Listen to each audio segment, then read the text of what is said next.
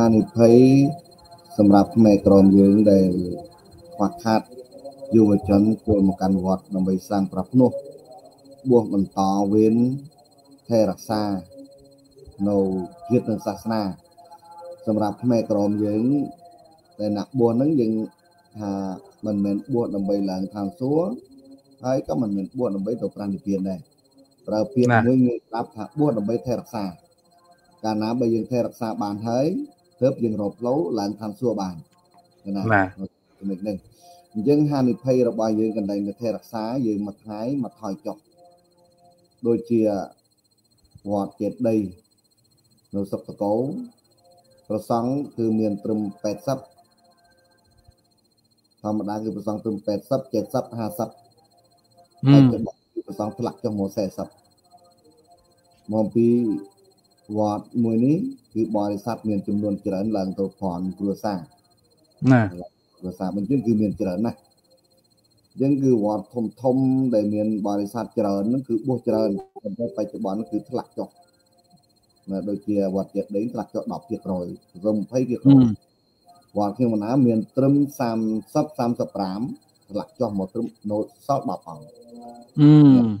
ហានិភ័យនៅត្រង់ឡើយនេះហើយខ្មែរយើងខ្លះហ្នឹងមោទនភាពតាមរូបថតដែលយើងមើលឃើញថាកូនខ្មែរបច្ចុប្បន្នហ្នឹងរៀនបានច្រើនណាស់រៀនបានច្រើនណាស់គឺមោទនភាពតាមរូបថតត្រង់ត្រង់ឡើយហ្នឹងឯងទាំងណាក់នៅក្រៅទាំងណាក់នៅក្នុងស្រុកគឺមោទនភាពតាមរូបថតទាំងអស់ប៉ុន្តែអ្វីដែលយើងសម្លឹងឃើញទៅតាមវត្តដែលប្រសង់តិចឬច្រើនយើងអាចបានសម្លឹងមួយត្រង់នោះ ឥឡូវយើងធ្វើម៉េចធ្វើយ៉ាងម៉េចដើម្បីឲ្យហានិភ័យនឹងគឺរត់ចេញឆ្ងាយអំពីអារម្មណ៍របស់យើងគឺអូសទាញឪពុកម្ដាយមិនមែនអូសទាញយុវជនទេគឺអូសទាញឪពុកម្ដាយដើម្បីឲ្យគាត់ចូលមកជិតវត្តគាត់បានយល់ដឹងអំពីតម្លៃនៃពុទ្ធសាសនាយើងចូលក្នុងពុទ្ធសាសនាមានប្រយោជន៍អីខ្លះ ព្រោះបច្ចុប្បន្នគេថាអ្នកដែលចូលវត្តអត់ឃើញប្រយោជន៍អីផងហឹមព្រោះអ្នកចូលវត្តគឺចេះតែទេរកុដេសតថន្តិសកេកមេនខតយៈសឹកចេញទៅគឺគេអត់ប្រើទេអញ្ចឹងយើងបួស10ឆ្នាំ20ឆ្នាំទៅអត់មានចេះអីដើម្បីទៅប្រកបការងារអឺអ្នកដែលគឺមើលមិនឃើញគឺឃើញត្រង់លេងហ្នឹងអ្នកមើលមិនឃើញគឺមើលឃើញណា ដល់អ្នកដែលមើលឃើញគឺគាត់មើលឃើញភាសាមួយហ្នឹងចង់ទៅជួយគ្នាទៀតអ្នកមើលមិនឃើញគាត់មើលឃើញអ្នកមើលមិនឃើញប្រយោជន៍នៃការចូលបួសសិក្សានៅប្រះបរិយ័តគិតមើលអត់ឃើញយ៉ាងនេះទេណាប៉ុន្តែគិតអ្វីដែលគិតឃើញតែចូលវត្តអត់មានអីនៅអត់មានអីនៅវិញដល់ណាដែលមើលឃើញប្រយោជន៍គិតមើលឃើញប្រយោជន៍នៅតាណាយោបុណ្យគឺមានប្រយោជន៍ធំធេងណាស់ ព្រោះយើងរក្សាបានពុទ្ធសាសនាហើយធ្វើពុទ្ធសាសនានឹងឲ្យមានខឿនរឹងមាំដើម្បីជាតិមកឈរតាំងនៅក្នុងទីនេះអឺតាំងនៅក្នុងទីនេះបើអញ្ចឹងទេវត្តអារាមនោះគឺប្រៀបបានដូចជាផែនដីផែនដីគឺប្រៀបបានដូចជាសិលនៅក្នុងប្រធលោកប្រាប់ថាបុគ្គលណាដែលមិនមានសិលបុគ្គលនោះប្រៀបបានដូចជាចំណត់កំបិតចំ បើយើងស្មើនឹងមនុស្សកំបិតក្បាលណាចោះដល់យើងជាជាតិសាសន៍មួយ មានទំនៀមទម្លាប់ប្រពៃណីវប្បធម៌អក្សរសាស្ត្រលើប្រៀបលើគេប្រៀបលើជនជាតិដែលនៅក្បែរយើងសរុបសេចក្តីមកថានៅប្រទេសវៀតណាមមាន54ជនជាតិជនជាតិខ្មែរយើងគឺទំនៀមទម្លាប់ប្រពៃណីវប្បធម៌អក្សរសាស្ត្រគឺចូលលេខ1ហេតុម៉េចបែរកណាហ៊ានថាចូលលេខ1យើងរើសត្រឹមតែលេខហើយនឹងអក្សរ គឺយើងស៊ីដាច់ទេប្រទេសថៃគេឲ្យអក្សរសាស្ត្រខ្មែរយើងហៅថាអក្សរសាស្ត្រទេពនៅអក្សរសាស្ត្រទេពហេតុម៉េចថាអក្សរសាស្ត្រខ្មែរយើងជាអក្សរសាស្ត្រទេពមកអំពីអក្សរសាស្ត្រខ្មែរយើង គឺអាចសម្រួលទៅតាមភាសាដទៃបានតាមតម្រូវការហើយល្អប្រពៃទៀតភាសាដទៃมันអាចតម្រូវការបានតាមចិត្តទេ មូលហេតុដែលភាសាយើងតម្រូវតាមបាន យើងរាប់ទៅត្រឹមពយញ្ចនៈហើយនឹងស្រះគឺយើងច្រើនជាងគេទាំងអស់នេះបងនៅត្រង់ហ្នឹងហេតុមិនថាច្រើនមកអំពីសម័យខ្មែរយើងគឺវាសម្បូរបែបណាសម្បូរបែបចឹងហើយខ្មែរយើងចេះតែមោទនភាពមោទនភាពតាមរូបភាពដើមហើយតាមរូបថតបច្ចុប្បន្នផ្លេចសម្លឹងឃើញនៅខាងក្នុងថាកូនខ្មែរចូលវត្តហ្នឹងតិចហើយយើងខ្ញុំណាសូមអំពាវនាវដល់ប្រសង់ ក្នុងនោះគឺមានប្រជាអធិការហើយនឹងប្រអទេសចាអាចារ្យគណៈកម្មការវត្តអាចារ្យគណៈកម្មការបន់ជំនិតកុសលឪពុកម្ដាយអាណាព្យាបាលរបស់យុវជនទាំងអស់យើងសម្លឹងមើលវត្តទាំងអស់គ្នាឥឡូវតួនាទីរបស់ព្រះសង្ឃគឺយើងទៅម៉េចដើម្បីឲ្យយុវជននឹងចូលវត្តបុះចំណុចទី1តួនាទីរបស់ប្រជាវត្តិការគឺទៅសម្លឹងមើលឲ្យបានឆ្ងាយ ដើម្បីអូសទាញឪពុកម្ដាយនឹងឲ្យចូលមកចិត្តតែយើងអូសបែបណាខ្មែរក្រមយើងមិនមានវេទិកាទេសនាដូចជាខ្មែរកដាលទេអត់មានទេបើយើងទៅទេសនាតាមបន្សពមានបន្សពអ្នកស្ដាប់បានរៀង20ណា50ណាអ្នកស្ដាប់អស់ទាំងនោះគឺសិតតែមនុស្សចាស់ធ្វើអីអត់កើតអត់មានមនុស្សក្មេងចូលស្ដាប់ណាអញ្ចឹងហានិភ័យរបស់យើង អញ្ចឹងយើងត្រូវឆ្លៀតឱកាសដូចជាបានសង្កទានឬក៏ថាបាននេះក៏ដោយឲ្យតែប្រសក់គេមិនយើងវិចារអធិការឬឧទាសចារគឺត្រូវឆ្លៀតឱកាសនាងធម្មិកថាយ៉ាងតិចត្រឹម10នាទីទៅ5 15នាទីដើម្បីបញ្យលហើយនឹងបញ្ជ្រាបនៅអ្វីដែលគាត់ត្រូវការដឹងហើយគាត់មិនបានដឹងនោះយើងត្រូវចែកចម្លែកជូនដល់គាត់កាលណាបើប្រសងខ្មែរយើងធ្វើបានយើងគ្រប់វត្តសង្ឃឹមថាពុទ្ធបរិស័ទនឹងយល់ ណារកខ្ញុំណាក៏មានលើកឡើងបញ្ហាដូចដែរដូចជាដោយឡែកគឺនៅភូមិមត្រាតែហេតុដូចម្ដេចប្រហែលឆ្នាំមុនត្រឹម30 35អង្គបច្ចុប្បន្ននៅសល់តែ10អង្គមូលហេតុអីមកពីវត្ថុសម្ភារៈទី1ទី2គឺសង្គមគ្រួសារមួយមួយហ្នឹងគឺហៅថាតម្រូវការច្រើនពេកហៅថាតម្រូវការវាវាខុសកន្លងណាតម្រូវការតម្រូវការខុសកន្លងผมមាន តម្រូវការខុសកន្លងហ្នឹងហើយនាំឲ្យខ្វះខាតកាលណាបើខ្វះខាតហើយសម្លឹងឃើញកម្លាំងកូនมันអាចឲ្យចូល4ទេអូត្រាវនិយាយអំពីយូវ៉ាន់និងយូវតីទៅពលកម្មនៅប្រទេសជប៉ុនជាង100ណាជាង100ណាបើអញ្ចឹងទៅកម្លាំងកម្លាំងហ្នឹងគាត់រៀនចាប់ទី12គឺជូនទៅចាប់ទី12គាត់ជូនទៅគាត់មើលមើលមិនឃើញនៅក្នុងវត្តទេបាទនឹងនឹងហើយជាជាហានិភ័យមួយព្រោះតែខ្មែរយើងខ្វះនៃការសិក្សា យើងឲ្យខ្វះការយល់ដឹងកាលណាបើខ្វះការយល់ដឹងទៅគាត់ចាយវាទ្រព្យសម្បត្តិគាត់នឹងចាស់ជាយកាលណាបើចាស់ជាយទៅវាចាស់ឥទ្ធិពលសង្គមឥឡូវកាលណានិយាយអំពីការចាយវាយទ្រព្យសម្បត្តិចាស់ជាយចាស់ឥទ្ធិពលសង្គមឧទាហរណ៍ថាបច្ចុប្បន្ននេះគឺពេញនិយមធ្វើបានខួបកំណត់កូនអឺធ្វើបានកម្រិតខែធ្វើបានឆ្នាំ ធ្វើបានខួបកំណត់គឺពេញនិយមទេម្ដងហើយនឹងបណ្ដាតកណានុពទានពេញនិយមតែថាសម្បិចថាពេញនិយមនេះគឺជាទំនៀមទម្លាប់ប្រពៃណីខ្មែររៀងតធ្វើខ្ញុំមិនណាទទួលសកលថាចាំបាច់ត្រូវទៅធ្វើប៉ុន្តែអ្វីដែលខ្មែរយើងធ្វើនោះគឺគាត់ធ្វើដោយអត់យល់ណាធ្វើដោយខ្វះបញ្ញានេះយើងឡើងនឹងធ្វើឲ្យសង្គមខ្វះខាត សង្គមគ្រួសារហ្នឹងតម្រូវការគេទៅដើរបាត់ណាគ្រួសារខ្លះហ្នឹងមានមុខមាត់ហ្នឹងគាត់ថារស់នៅក្នុងសង្គមមានមុខមាត់នៅក្នុងសង្គមហ្នឹងក្នុងមួយខែយ៉ាងតិចហ្នឹងគឺត្រឹម10សម្បត្តិឡើងទៅ20សម្បត្តិហ្នឹងគឺកូនម្នាក់ទៅធ្វើការឲ្យគេមួយខែមិនគ្រប់ដើរបានទេណាយកនៅត្រង់ហ្នឹងហើយតែចិត្តដើរបានក៏ជារឿងល្អតែមិនបែរជាថាការចាស់ជឿខុសកន្លងវិញថានេះហើយដែលហៅថាខុសកន្លងនេះព្រោះយើងធ្វើបានខ្វះបញ្ញា អត់យល់ផងធ្វើធ្វើបាននិមន្តប្រសងទៅធ្វើបានចំណាយពេលត្រឹមតែ1ម៉ោងកន្លះទេប៉ុន្តែអ្វីដែលបានរបស់គាត់ហ្នឹងគឺក្រោយពីប្រសងទទួលផត់រួចហើយគាត់ចាប់ផ្ដើមគាត់ជប់ក្លៀករហូតដល់ម៉ោង10យប់គាត់បានចប់អឺបានរបស់ខ្មែរក្រមយើងចំនួនចង់ថាចំនួនច្រើនទៀតណាហើយចង់ថាចំនួនច្រើនឲ្យតែមានបានគឺលក្ខណៈនេះឯងចឹងហើយ វាធ្វើឲ្យសង្គមគ្រួសារហ្នឹងគឺត្រូវចាយវាច្រើននេះត្រូវចាយវាច្រើនពេលខ្លះគឺមិនអាចគិតដែរចុះគ្រួសារខ្លះដើរបានពេកនោះចុះបានថាវិការណាដល់សួរទៅថាលោកគ្រូជួនកាលទៅយកប្រាក់ថ្ងៃជួនកាលទៅយកប្រាក់ខែអឺនឹងចេះចាប់ដើមចេះទៅដាច់ធ្វើម៉េចត្រូវដោះគេបានកាលណាដោះឲ្យគេបានបានទៅយកបានទៀតមកនៅបញ្ហានឹងជាងហើយបាន ហានិភ័យក្នុងសង្គមគ្រួសារត្រូវទៅសម្លឹងឃើញកម្លាំងកូនបញ្ជូនទៅពលកម្មបើអញ្ចឹងទេហានិភ័យរបស់វត្តដោយអាស្រ័យខ្វះការចូលបួសខ្វះការសិក្សារៀនសូត្រអញ្ចឹងហើយបាទខ្ញុំមិនអាចនិយាយថាគុំសម្លឹងឃើញនៅរូបថតដែលខ្មែរយើងចូលរៀនបានច្រើនតែយើងមិនបានឃើញថាខ្មែរយើងបាត់នៅអក្សរសាស្ត្រច្រើនហើយនឹងបាត់នៅភាសាច្រើនទេលោកគ្រូសម្លឹងឃើញខ្ញុំអត់កណា ខ្ញុំកណាសម្លឹងឃើញថាខ្មែរយើងបច្ចុប្បន្ននេះគឺបាត់អក្សរសាស្ត្រច្រើនណាស់ហើយក៏បាត់ភាសាច្រើនដែរទេភាសាមួយនឹងនិយាយដូចជាពិបាកស្ដាប់ហេតុម៉េចថាបាត់អក្សរសាស្ត្រអក្សរកនៅអក្សរកនិយាយថា33តួគឺនៅទាំងអស់ស្រះពេញតួ15តួនៅគ្រប់ស្រះនិស័យ27តួខ្ញុំមិនអាចនិយាយ27តួរងស្រះកសំគឺនៅគ្រប់មិនមានបាត់មួយណាទេហេតុដូចនេះបានលោកគ្រូអូត្រោថាអក្សរសាស្ត្រខ្មែរយើងគឺបាត់ច្រើន ខ្ញុំមិនណាសូមនិយាយត្រង់ថាអក្សរសាស្ត្រយើងបាត់ច្រើនអក្សរសាស្ត្រគឺមិនមែនបាត់តួពយញ្ចនាឬបាត់តួស្រះទេគឺបាត់ត្រង់នៃកូនខ្មែរមិនចេះអក្សរនោះគឺភាពច្រើន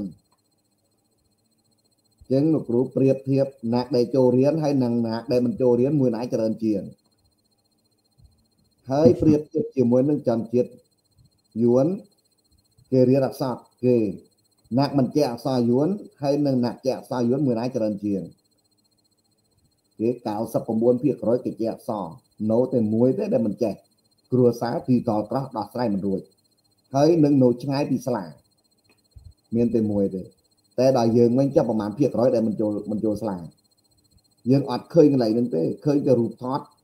ឆ្នាំនេះកូនខ្មែរក្រមចូលរៀនបានច្រើនណាស់មោទនភាពឯហ្នឹងមោទនភាពឯហ្នឹងលហណែតែតាទូងទូងដូចសកអញ្ចឹង អូសំលេងលឺប៉ុន្តែទៅមើលសកលនេះអត់មានអីទេបោងក្នុងកណា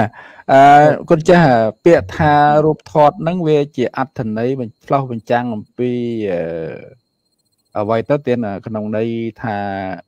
ស្គរវាប្រហោងក្នុងឬក៏បានន័យថាយើងក្រន់តែជាការបង្ហាញរូបភាពហើយយើងមិនបានបង្ហាញអំពីអត្ថន័យក្នុងទីហ្នឹងទេណា ណាហ្នឹងហើយតើដើម្បីបង្ហាញអំពីអត្ថន័យផងនិងរូបភាពផងតើយើងគួរធ្វើយ៉ាងណាឲ្យឲ្យមានលក្ខណៈពេញលេញទៅទៀតពេញលក្ខណៈទៀតណាអញ្ចឹងគណៈសូមនិយាយមកថយក្រោយវិញដើម្បីឲ្យរៀបរូបភាពហ្នឹងគឺមានគុណភាពកប៉ុហើយមានតម្លៃ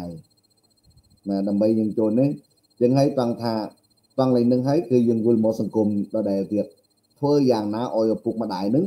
គឺគាត់យល់ កាលណាបើគាត់យល់គាត់បញ្ជូនកូនឲ្យចូលរៀនបានច្រើនកាលណាបើបានច្រើនទៅគឺសកលនឹងមកពេញមកអំពីសកលនឹងពេញគឺកូនខ្មែរចូលពេញវត្តទេកូនខ្មែរចូលពេញវត្តបញ្ចឹងគឺថតរូបត្រូវបណ្ណាក៏ដោយយើងដឹងថាកូនខ្មែរយើងចេះអក្សរខ្មែរបានច្រើនប៉ុន្តែបច្ចុប្បន្នខ្ញុំណានតែចេះតិចណាណាបើប្រៀបធៀបទៅត្រឹម80ថយក្រោយត្រឹម80ថយក្រោយមកនិយាយពីក្នុងវត្តមួយមួយហ្នឹងគឺ សម័យទីគិនតុកចៅគឺអាចារ្យខ្លះវត្តខ្លះហ្នឹងអាចារ្យច្រើនជាងសាសអឺអាចារ្យច្រើនជាងសាសនោះអញ្ចឹងអាចារ្យប្រសង់មិននិយាយអាចារ្យប្រសង់ច្រើនជាងហើយក្នុងមួយវត្តមួយវត្តហ្នឹងលោកយ៉ាងត្រឹម50អង្គឡើងទៅ100អង្គនេះហើយដល់យើងសម័យហ្នឹងហើយសម័យនោះមិនមែនស្រួលទេការសិក្សារៀនសូត្ររៀនតិចតិចគឺទៅចែករៀនទៅតិចគឺទៅពិនិត្យទៅពិនិត្យប៉ុន្តែបច្ចុប្បន្នហ្នឹងគឺគេជំរុញឲ្យយើងរៀន ភាសាអក្សរសាស្ត្រទំនៀមទម្លាប់ប្រពៃណីរបស់អ្នកណាអ្នកនោះថែណាអ្នកនោះថែបើអញ្ចឹងទៅបានន័យថាគេបើកឱកាសឲ្យយើងហើយប៉ុន្តែយើងបែរជាមិនលើកស្ទួយដូចជាពីទសវត្ស80ឡើងមកណានេះមិនចឹងគឺត្រង់ចំណុចហ្នឹងតែបើយើងគិតមកថាបរិស័ទយើងត្រឹមអាយុ30អាយុ30ក្នុងនាមជាអាណាព្យាបាលរបស់យុវជន គាត់អត់បានដឹងរឿងនេះចឹងហើយគាត់នៅតែសម្គាល់ថាបច្ចុប្បន្នហ្នឹងគូពូនខ្មែររៀនច្រើនណាស់នេះនៅត្រង់ហ្នឹងអញ្ចឹងដើម្បីឲ្យរូបថតហ្នឹងរូបថតហ្នឹងមានគុណភាពធ្វើយ៉ាងណាចៅអធិការហ្នឹងក្នុងកម្មវិធីបើបានហ្នឹងទី1ត្រូវបញ្យល់គាត់ឲ្យចេះធ្វើបានដើម្បីកុំឲ្យចាយវាចាស់ជេរ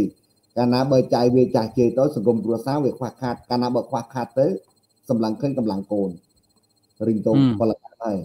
អញ្ចឹងទៅយើងបញ្យល់ឲ្យគិតយល់អំពីរបៀបធ្វើបន់គិតបន្ថយឲ្យរឿងធ្វើបន់ហ្នឹងកុំថាធ្វើបន់បានបន់ច្រើនឡើងក្រោះធ្វើបន់ច្រើនបានបន់បាបបានបាបច្រើនណា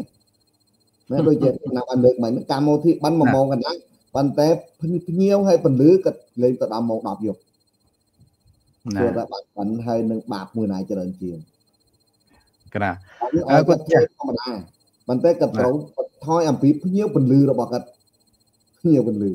ណាភ្ញៀវនៅពលឺទៀត ចឹងព្រោះរឿងដែលចង់ឲ្យឃើញសំរូបថតមួយសន្លឹកមានគុណភាពមានអត្ថន័យគ្រប់គ្រាន់អត្ថន័យគ្រប់គ្រាន់គឺយើងត្រូវសម្លឹងឃើញពីខាងក្នុងនេះសិនធ្វើម៉េចឲ្យឪពុកម្ដាយរបស់យុវជននឹងដោះស្រាយបានគឺជាងក៏ត្រូវកាត់បន្ថយអំពីការធ្វើបន់របស់កិត្តចៃវាចាស់ជ័យធ្វើបន់1ម៉ោងកន្លះ គិតចំណាយថាខាងប្រសង់ចូលមកគឺ1ម៉ោងកន្លះភ្ញៀវមកហូបបាយកន្លះម៉ោងទៀតចប់បានមួយពេលចប់បានមួយក្រុមមួយឆ្នាំបើគិតមិនយល់ទេគិតអូដល់ម៉ោង10អាហ្នឹងគឺតម្រូវការច្រើនតម្រូវការអញ្ចឹងពេលបើគិតទៅបន្ថយពេលវេលាក៏មិនបានជើងភ្ញៀវច្រើនទេធ្វើបាដាហ្នឹងក្រុមញាតយើងល្មមណាខ្លះធ្វើបណ្ដាចាក់សម្បត្តិដើម្បីកេងចំណេញអំពីបណ្ឌមកពីអីបានធ្វើអញ្ចឹង ថាអត់បញ្ញាថាធ្វើបណ្ឌទៅមិនខាតទេណាធ្វើបណ្ឌទៅមិនខាតនេះគឺធ្វើអត់បញ្ញាមុតតែមិនយើងមិនខាត់មែនយើងសួរទៅភ្ញៀវរបស់យើងចូលមករួមបានហ្នឹងទៅខាត់ប្រមាណទី1គឺខាត់មកបានអស់មួយពេលដល់មួយពេលក៏ទៅពលកម្មបានប្រមាណទី2ក៏យកថាវិការរបស់គាត់មកចូលកសលបានហ្នឹងហើយក៏ហូបបាយហ្នឹងវាខាត់ពីចំណែកក្នុងមនុស្សម្នាក់គឺត្រូវខាត់ពីណាត្រូវត្រូវខាត់ពីចំណែកបើអញ្ចឹងហើយតាមនេះនឹងហើយការបច្ច័យវាចាស់ជេ តោសម្បូរមានបានយួនភាសាទៅវិញអឺត្រូវពយល់តាំងនៅនឹងសិនបានអូសទាញយុវជនចូលវត្តបាន តែបើនៅតែសង្គមតម្រូវការក្នុងកម្មវិធីបិណ្ឌការបិណ្ឌការជប់លៀងបិណ្ឌការជប់លៀងបិណ្ឌថាគម្រប់ខួបយ៉ាងណាយ៉ាងណីច្រើនស្អីចកាសលើគ្នាហ្នឹងគឺសង្គមនៅតែខ្វះខាតរហូតបច្ចុប្បន្នហ្នឹងគឺមនុស្សព្រឹកឡើងចេញទៅធ្វើការមានលុយប៉ុន្តែយកមកចាយវាអត់គ្រប់អត់គ្រប់គ្រាន់ មកអំពីតម្រូវការយ៉ាងហ្នឹងណាសូមចូលរួមណា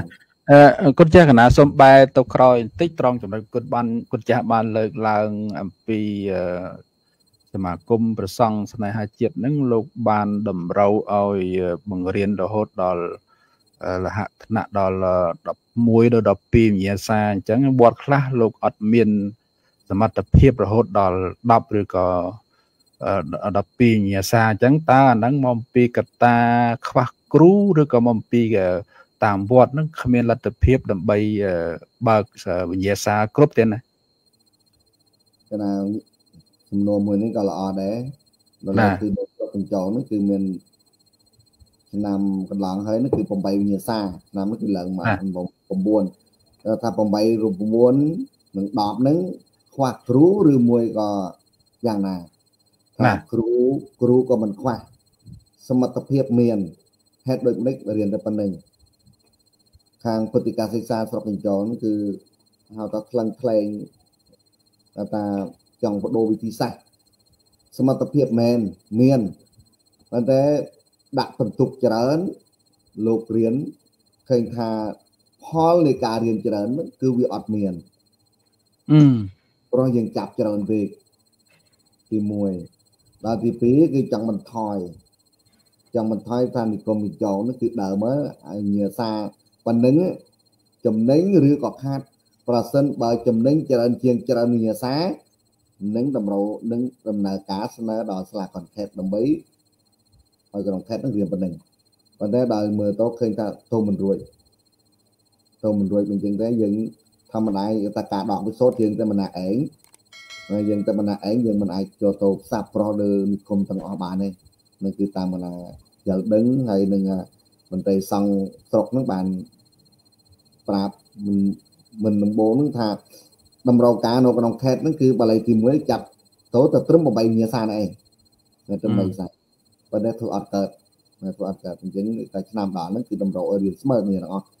មិនត្រឹម10វិញ្ញាសាហើយនិគមខ្លះគេរៀន11 12អានោះគឺចង់បន្ថែម តែគេបន្ថែមរឿងបន្ថែមអត់បញ្ហាទេប៉ុន្តែកុំឲ្យទៅបន្ថយតម្រូវថាវាសាបណាគេតម្រូវឲ្យត្រូវគ្នាប៉ុណ្ណឹងងាយស្រួលក្នុងការគ្រប់គ្រងហើយនឹងប្រសពផ្សាយចំណេះដឹងទៅក្រៅថាយើងនៅក្នុងខេត្តតែមួយហេតុដូចនេះគ្រាមិនត្រូវគ្នាអញ្ចឹងគឺចាក់ឲ្យបានរៀនឲ្យត្រូវគ្នាហ្នឹងងាយស្រួលក្នុងការផ្សព្វផ្សាយដូចជាយើងថាថាសិស្ស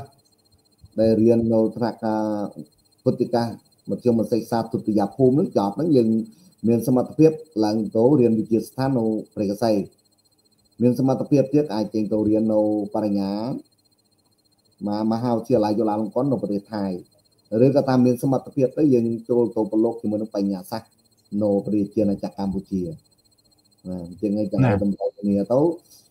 សិស្សអង្គឡើងទៅក៏ឆ្លើយប៉ុណ្្នឹងសិស្សអង្គឡើងទៅឆ្លើយប៉ុណ្ណេះតែប៉ុណ្្នឹងស្មើគ្នាតែបើយើងរៀនមិនស្មើគ្នាទេ ដល់ពេលយើងទៅនឹងស្រុកនេះឆ្លើយផ្សេងទៅស្រុកនោះឆ្លើយផ្សេងឆ្លើយតាមតម្រូវការនៃការរៀនជាងទៅយើងការផ្សព្វផ្សាយដើម្បីបញ្ជូនសិស្សទៅចេញទៅរៀនប្រទេសក្រៅនោះវាជាពិបាកណាអញ្ចឹងឯងតែឆ្នាំបាក់នេះតាមប្រធានពុទ្ធិកាសិក្សាស្រុកកញ្ចងលោកថាត្រូវតែរៀបឲ្យស្មើគ្នាហើយដាក់ថ្ងៃប្រឡងឲ្យត្រូវគ្នាខ្ញុំណាឃើញថាការរៀបចំឲ្យរៀនត្រូវគ្នា ខ្ញុំណាសូមអនុមោទនាត្រេកអរ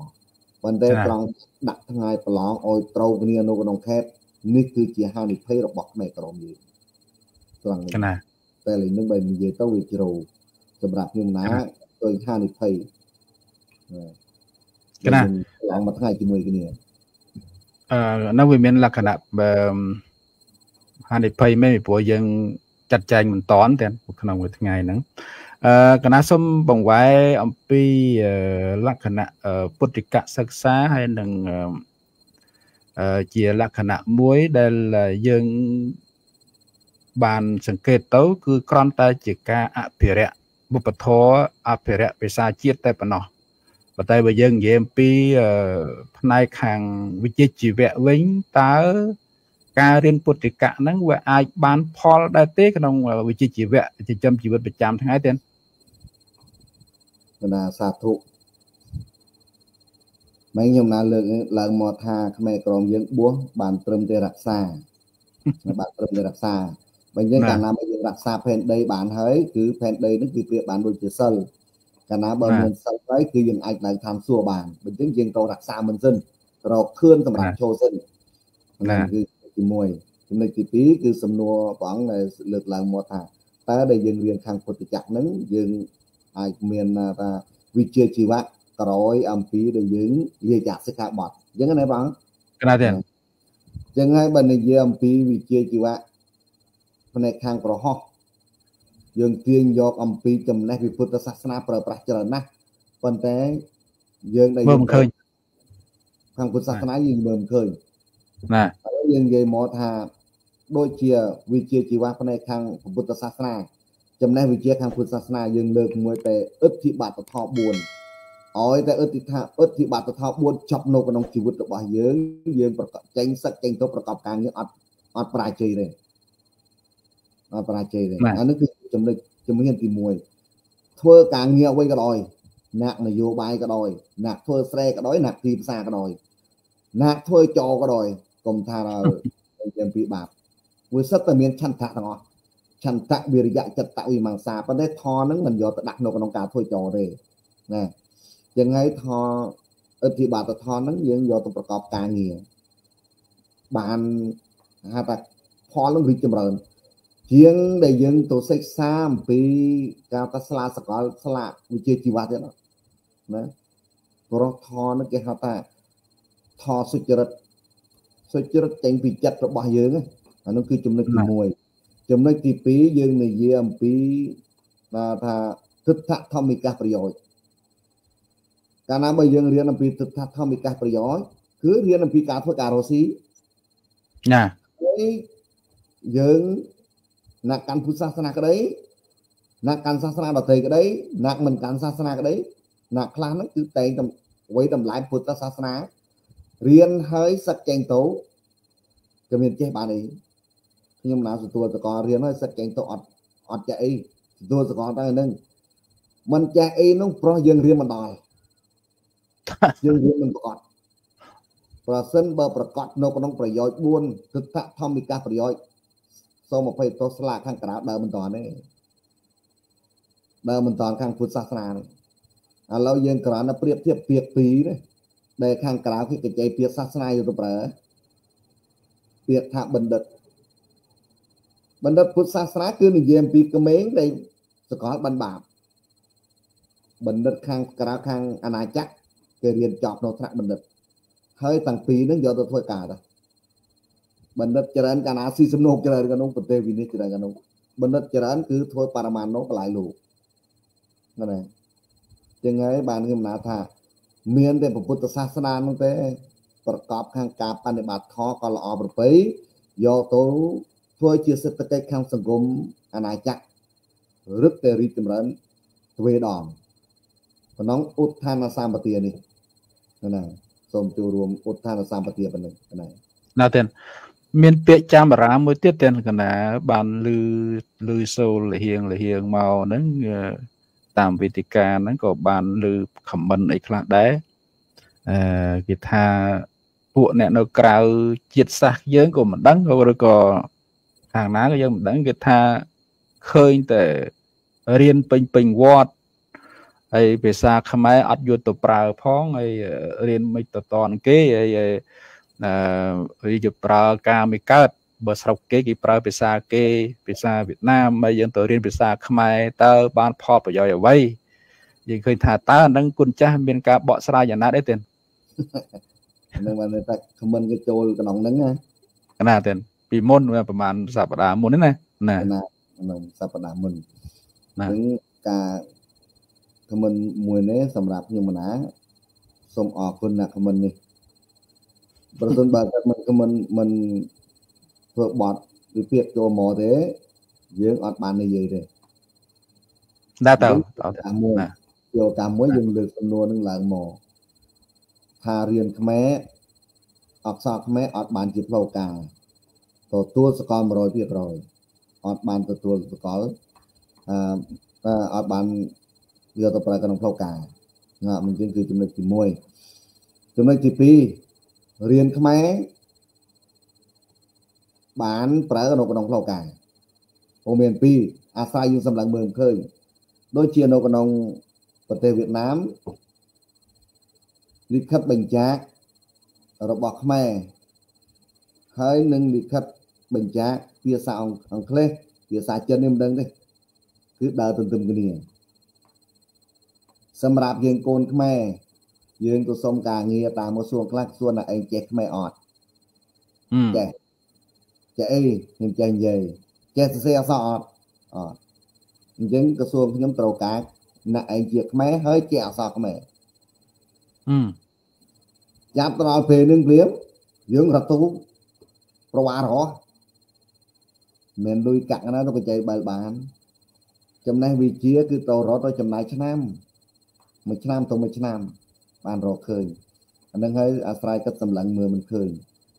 យើង ត្រង់ថាវិជាខ្មែររបស់យើងនឹងអក្សរសាស្ត្រខ្មែរគឺជាតលេខកមួយពង្រឹងឲ្យកូនខ្មែរនឹងគឺពង្រីកព្រោះក្រសួងខ្លះគេទៀមទាការចេះអក្សរនៅការចេះអក្សរគឺគេទទួលបានក្រសួងខ្លះគេទៀមទាការចេះអក្សរហើយលិខិតបញ្ជាក់លិខិតបញ្ជាក់នេះស្លាពុតិកាសរបស់យើងគេអត់យកទេគេយក ខាងសាលាសកលដែលគេរៀនហើយយើងទៅចូលប្រឡងបានក្តាស់នោះយើងយកទៅបញ្ជាក់នេះមិនចឹងហើយក្តាស់អស់ទាំងនោះដែលយើងបានបញ្ជាក់ហ្នឹងណាអស់ទាំងនោះគឺសិតតែចេញពីវត្ត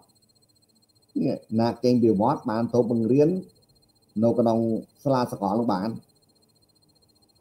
បើមិនចេញពីវត្តទេទៅបង្រៀនគ្រាន់តែថាគេហៅថាបង្ហាញ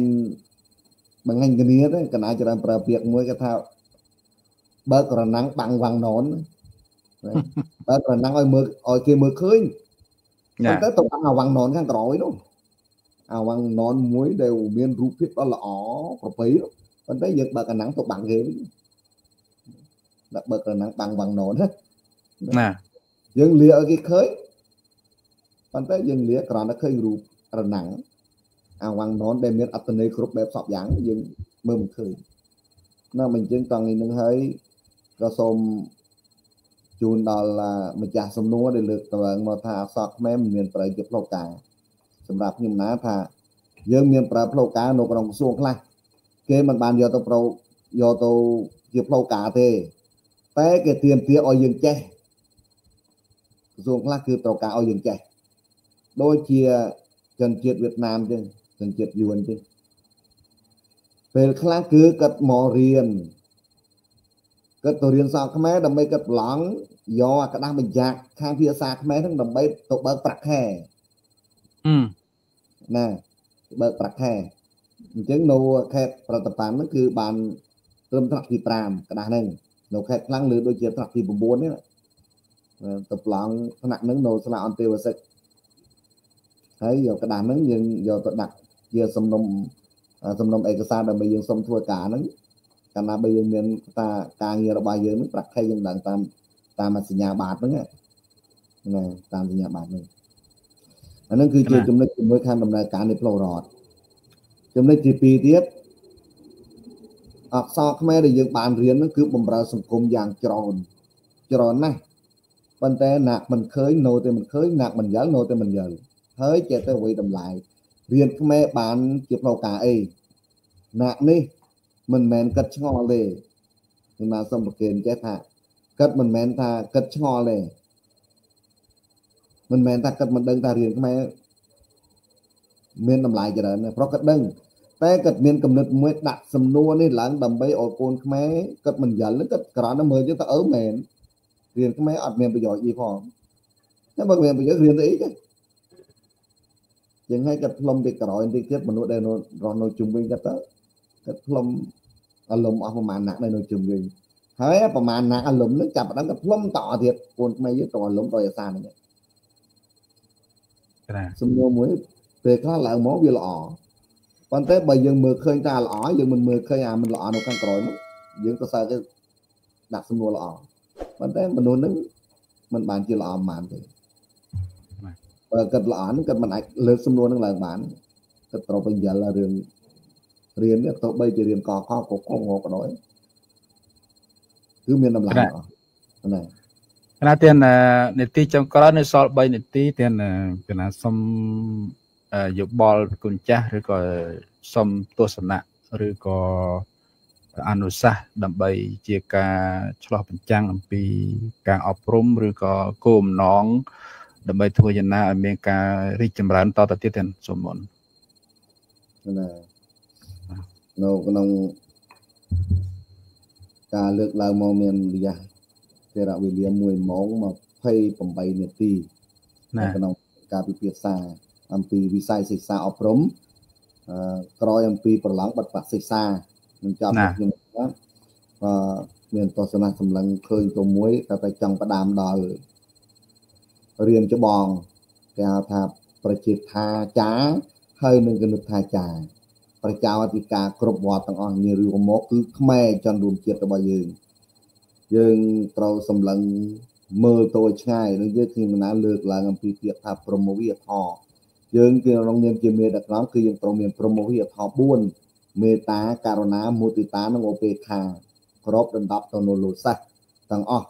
តែក្នុងព្រមវិហារផល4នេះគឺកណាចង់សូមប្រកេនព្រមវិហារផលចំណុចមួយហៅថាឧបេក្ខាយើងត្រូវមានឧបេក្ខាមួយនឹងគឺដិតចប់នៅក្នុងជីវិតរបស់យើងសម្រាប់សម្លឹងឃើញនៅអនាគតរបស់សត្វទាំងអស់គ្នាអញ្ចឹងតាមខ្ញុំណាយល់ពីពាក្យថាឧបេក្ខានោះគឺយើងកាត់បត់ចេញថាឧបៈនិងអិខៈឧបសបានន័យថាចូលទៅចិត្តអិខៈប្រែថាឃើញឬសម្លឹងមើលយើងតោះបើអញ្ចឹងយើងឃើញនឹងមិនមែនឃើញកូនស្អាត កូនល្អកូនមានកូនក្រឬកូននឹងសំណាងអាផប់យ៉ាងណានោះគឺមិនមានដើម្បីយើងឧបត្ថម្ភនោះអត់មានមិនមែនជារឿងនោះទេគឺថាឧបេក្ខានោះគឺសម្លឹងឃើញនៅអនាគតរបស់កូនសិស្សរបស់យើងទាំងឡាយឪពុកម្ដាយសម្លឹងឃើញអនាគតរបស់កូនកូនរបស់ខ្លួនតើកូនខ្ញុំថ្ងៃក្រោយនេះវាល្ងងឬក៏ឆ្លាតវាមានឬក៏ក្រ បើយើងកាលណាបើយើងសម្លឹងឃើញថាល្ងងឬក៏ក្រទៅអនាគតមានអឺល្ងងឬក៏ឆ្លាតទៅអនាគតមានឬក៏ក្រទៅអនាគតតើបច្ចុប្បន្នយើងត្រូវធ្វើអីចឹងហើយគាត់ត្រូវតែអប់រំកូនគាត់លើកទឹកចិត្តគាត់ឲ្យខំសិក្សារៀនសូត្រចឹងគាត់ត្រូវវិធីសាស្ត្រគ្រប់បែបសពយ៉ាងអស់សម្លេងសម្លឹងឃើញអនាគតរបស់កូនគាត់ហ្នឹងចំណុចទី1ចំណុចទី2ក្នុងនាមជាប្រជាអធិការសម្លឹងឃើញអនាគតរបស់ សិស្សគុណទាំងឡាយដែលជាប្រសង់និងពុទ្ធបរិស័ទក្នុងចំណុះវត្តរបស់ខ្លួនតើថ្ងៃក្រោយពុទ្ធបរិស័ទយើងកន្លែងទៅជាយ៉ាងណាពុទ្ធបរិស័ទគឺជាប្រជានុរាស្ត្ររបស់ខ្មែរអញ្ចឹងតើអនាគតរបស់ខ្មែរយើងទៅជាយ៉ាងណាអញ្ចឹងកាលណាបើយើងសម្លឹងឃើញហើយយើងបច្ចុប្បន្នទៅធ្វើអីយើងត្រូវតែដើរបណ្ដោះនិស័យ យើងមិនអាចបណ្ដោះបានទាំងអស់ទេសូម្បីតែប្រពុតក៏ប្រពុតតែបេដាក្មេកអត់បានដែរប៉ុន្តែយើងព្យាយាមជួបមួយបណ្ដោះមួយជួបមួយបណ្ដោះមួយណាបានដោះណាមិនបានតាមនោះចុះណាអានេះគឺផ្នែកខាងគ្រូបង្រៀនចុះបើយើងណាក់ត្រត្រង់ជាតិតើយើងសម្លឹងឃើញនៅអ្វីមិនចឹងចម្លើយឆ្លើយថាណាក់ណាក៏សម្លឹងឃើញថាកូនចៅខ្មែរដែលមិនតាន់កើតក្រោយនឹងដល់ពេលគាត់កើតមកគាត់បានអី ចឹងហើយបានយើងខំទាំងអស់គ្នាហ្នឹងឯងគឺអូពេខាហ្នឹងគឺសម្លឹងឃើញនៅអនាគតរបស់ខ្មែរអញ្ចឹងទេសូមសំណូមពរខ្មែរយើងទាំងអស់គ្នាខំប្រឹងប្រែងគ្នាខំប្រឹងប្រែងដើម្បីលើកស្ទួយនៅទំនៀមទម្លាប់ប្រពៃណីវប្បធម៌អក្សរសាស្ត្រខ្មែររបស់យើងឲ្យរីកចម្រើនឡើងអញ្ចឹងហើយមានពាក្យបុរាណមួយលោកថាបើអ្នកស្រឡាញ់ខ្លួនត្រូវតែអភិវឌ្ឍជីវិតរបស់អ្នកអញ្ចឹងអភិវឌ្ឍជីវិតរបស់អ្នកអភិវឌ្ឍដោយវិធីណា មិនមែនដោយការហូបបាយឲ្យឆ្អែតផិតធំសាច់ទលុបលុបហើយស្លៀកតាស្អាតបាតរបស់ថ្លៃថ្លៃអត់មែនទេគឺអភិវឌ្ឍដោយចំណេះដឹងនិងការចែកកម្លែកនៅចំណេះដឹងនឹងហើយហៅថាឆ្លែងខ្លួនត្រូវអភិវឌ្ឍពីជីវិតជាងឲ្យសូមប្រគេនដល់ខ្មែរយើងគ្រូតូនទាំងអស់ណាក់ដែលមានតួនាទីគឺមានអូពេខាជាជាគេថាអូធ្ងន់បន្តិចដើម្បីយើងសម្លឹងឃើញបើអញ្ចឹងអូពេខា គឺថាអបាំងចូលទៅចិត្តនឹងយើងមិនអាចប្រែថាចូលទៅចិត្តឬនៅពីមុខទេយើងគ្រាន់ប្រែថាអបាំងគឺនៅខាងលើនៅខាងលើព្រោះយើងទាំងអស់យើងនៅលើសម្លឹងឃើញវិជារារបស់យើងនៅខាងក្រោមគ្រូសម្លឹងឃើញនៅស្នោះនៅខាងក្រោមឪពុកម្ដាយសម្លឹងឃើញកូននៅខាងក្រោមអញ្ចឹងយើងនៅលើសម្លឹងឃើញនៅក្របអង្គបានវាច្បាស់យើងសូមប្រគេនបាទ Thank you.